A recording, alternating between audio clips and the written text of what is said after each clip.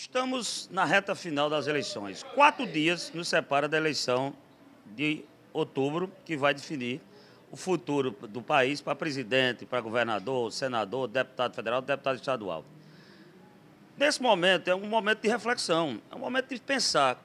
Você vai votar naquele que chegou agora, de repente, como paraquedista, que já está acontecendo em Caiazeira, na zona rural, vai acontecer na zona urbana, que começa a chegar dinheiro uma nota de 50, uma nota de 100 reais, 200.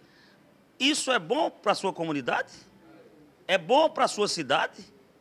É bom para a educação? É bom para a saúde? É bom para a infraestrutura? Esse cara só volta depois, daqui a quatro anos.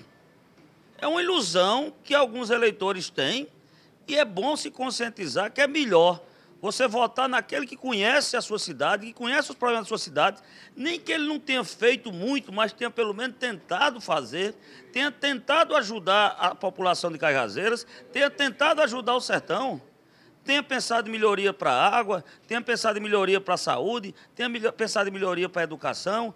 Enfim, você está pegando, dando um cheque em branco aos mesmos bandidos que a cada quatro anos voltam a se perpetuar no poder.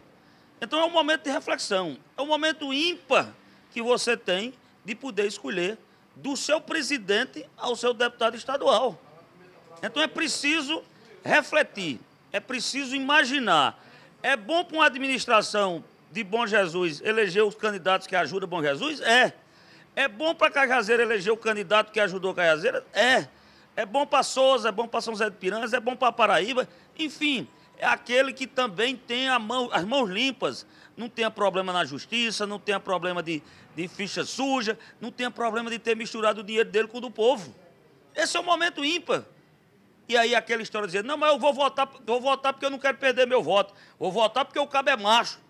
E existe isso não. Não, não vou votar porque é mulher. Acabe com isso. Pense no futuro de sua família, no futuro de seus filhos, no futuro de sua cidade votando naquele que você acha que será o melhor, ou que queira o menos ruim, naquele que vá pensar no futuro, pensar no colegiado, pensar no coletivo, e não pensar individualmente, e não pensar em enriquecer só ele e os seus pares. Jarismar Pereira, direto ao ponto TV Diário.